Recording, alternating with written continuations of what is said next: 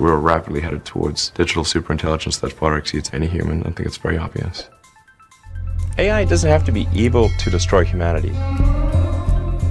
If AI has a goal and humanity just happens to be in the way, it will destroy humanity as a matter of course without even thinking about it. No hard feelings.